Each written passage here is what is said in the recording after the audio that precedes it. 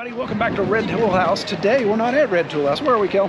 We are at the Homesteaders of America conference in Virginia. Is this too close? That's yeah. a little close. Well, I don't want to, I want the mic to be able to pick us up. Yeah, so uh, this is our fourth trip to the HOA and really enjoying it. It's day two.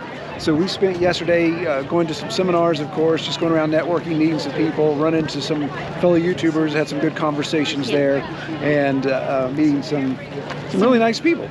But what we wanted to do with this video, instead of just kind of uh, kind of going around and just showing what's here, we wanted to talk about specific things that we felt after going around spending the day. These are the things that we had to add. We had to add to the homestead just because of seeing some neat things.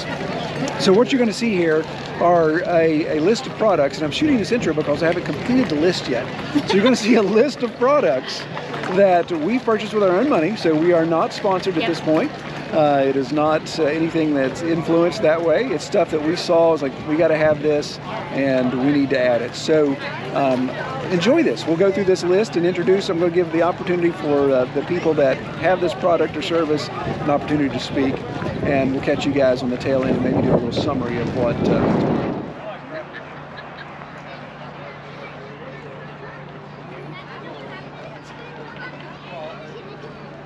All right, so one other thing that we discovered here at the Homesteaders Conference is John Moody's literature. And this is John. Welcome, John. Hey, good morning, everyone.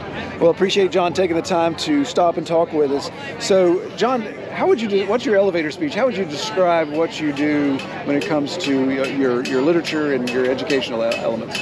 So, I started writing and speaking um, primarily because I wanted to see homesteaders succeed and I meet so many people. You know, there's that mem on social media. You know that um, I just got my first tomato. It was the best two hundred dollars in six months right, of my life. Right, exactly. Um, and that really, it really upset me because a lot of people think of homesteading, um, self-sufficiency, as a step in the wrong direction. Right. You know, well, you're you could be doing so many other more productive things. You could be doing things that actually generate value for your family. Um, and so I wanted to show people you can homestead successfully.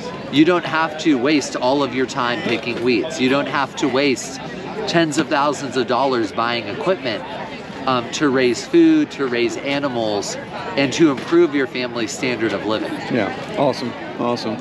Yeah, so so we were able to hear John speak yesterday, and he did a discussion on weeds. And that's the first thing it is. I ran over and I grabbed one of his books here about that because you guys watching the channel, you know, stilt grass is wearing us out, we've got some other issues there. So the pigs and the chickens utilizing uh, those things, along with some of the tips that John has for us here. So John, if, if somebody wanted to buy, and obviously it's not just this book, you've got multiple uh, books that you've published, correct? Yeah. We have four or five books now. Yeah, there's kind of uh, uh, kind of spreads the gamut, right? Because we've got sourdough, we've uh-huh. got uh, elderberry. Uh, you, you, do some work with Joel Salatin, do right? Yeah. Don't you guys do the Rogue Food movement? Yeah, Joel and I do Rogue Food Conference yeah, together. Yeah. Okay. Great. So. Great. So if, if any of our viewers would want to buy your book if they're not here, are you do you have online purchase opportunities? Yeah, my website is johnwmoody.com. Um, don't go to johnmoody.com. That's some hippie guitarist in California. Got to get the W. Um, and if you're interested in Rogue Food, it's just look up the Rogue Food Conference. Awesome. So, awesome. Man, I appreciate your time. Thank you so much. Yeah, it's great having you all here.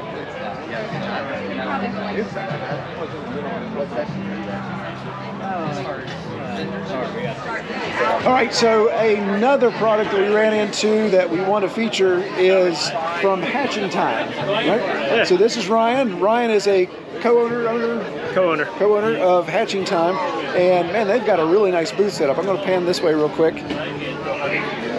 Incubation, brooding, breeding, processing, and plucking. We have yeah. it all from farm to table. So really like what they've put together here as far as uh, as complete systems. So if you're looking for something turnkey, uh, then it's really handy. So what we've done, I'm going to set my pack down here. What we purchased from them are killing cones. And these killing cones, oh thank you. Thanks Ryan. So these killing cones are made out of ABS plastic. And the design that I that really caught my attention about this over any other killing cones, if you wouldn't mind Ryan, show the end there.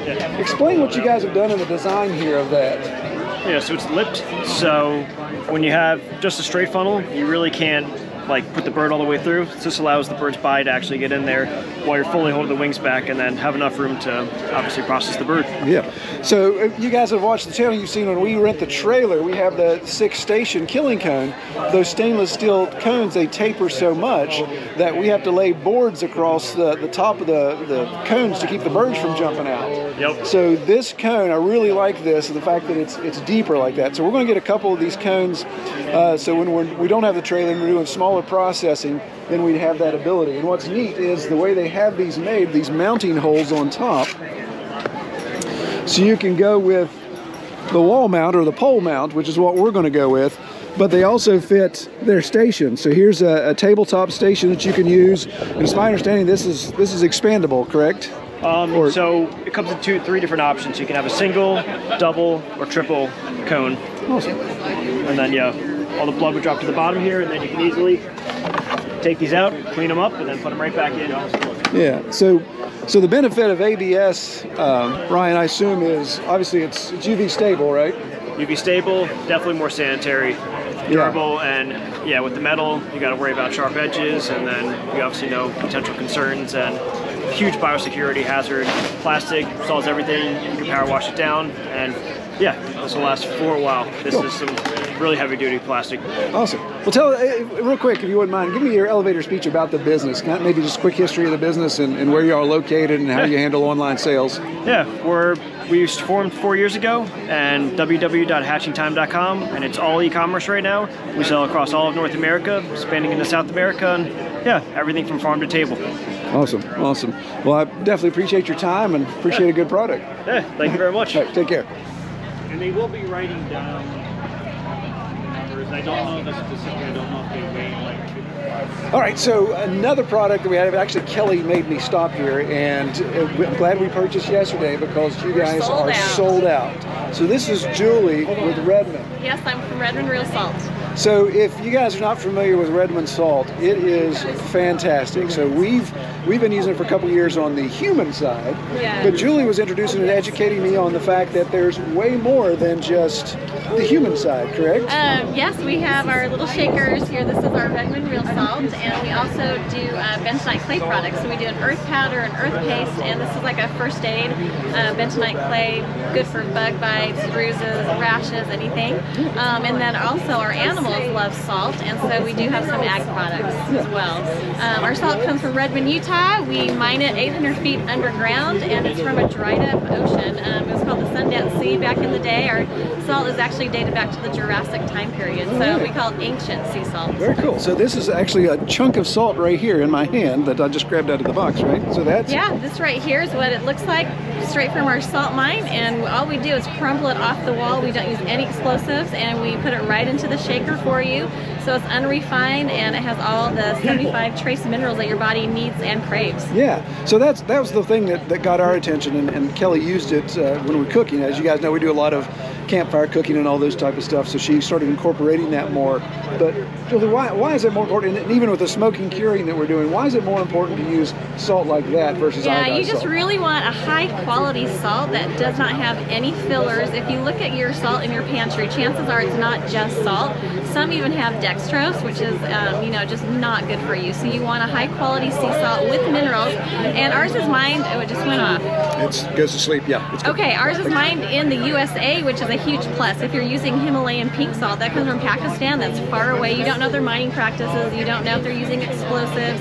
We have really strict mining practices, and we also um, we own and operate the mine, and so we know exactly how we're doing it. We don't do child labor. We treat our employees fair, um, and it's just pristine and clear, you know, clean, pure salt. Yeah. Awesome. Um, yeah, we do have a new fun product out. I'll introduce you to. This is called Redmond Re-Lyte, and we sell it in little stick packs or jars. Yeah. And it's an awesome product to stay hydrated. Um, everyone is dehydrated. Yeah. So we take our salt, we add in potassium and magnesium, and uh, turn it into this amazing hydration drink.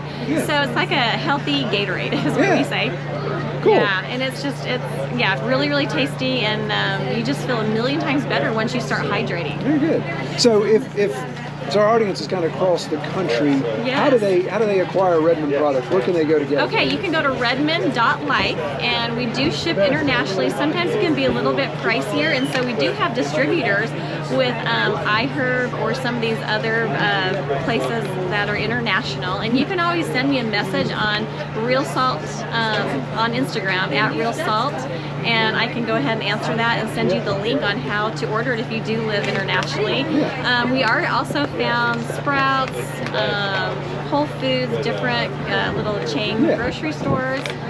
Yeah, so we, we can only find the the real salt, and we get that at our, our local drug emporium, which has a healthy life market. Right, But this, right. this is what I thought was neat. So Julia, she had this up, but she they were giving away free samples of these little mini salt shakers, and we've already used ours uh, just just because we, Yeah. we, we eat lunch in the truck.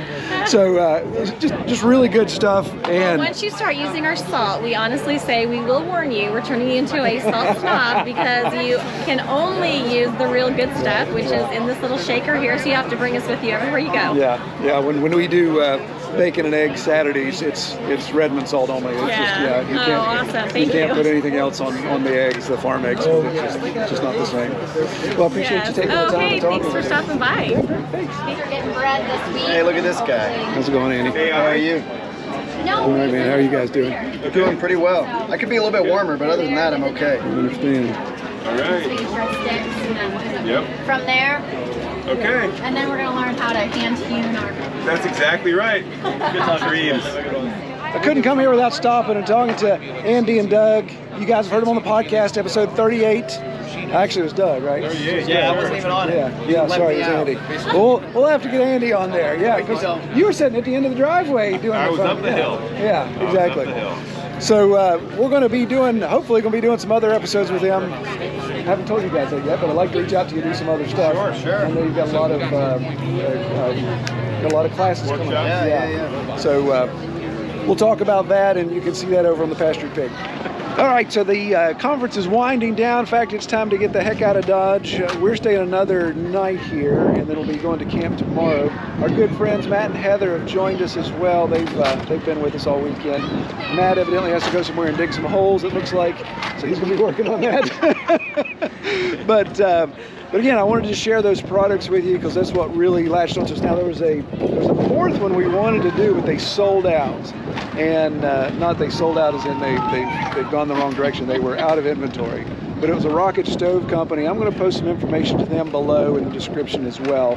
Uh, American made here uh, in North Carolina, I believe is what I said, right? But um, really neat rocket stoves that are doing portable, those type of things, even making them out of ammo boxes. It's pretty cool. But I'll share that with y'all. Well, appreciate y'all coming along with us on the conference, and we'll catch you next time. Take care.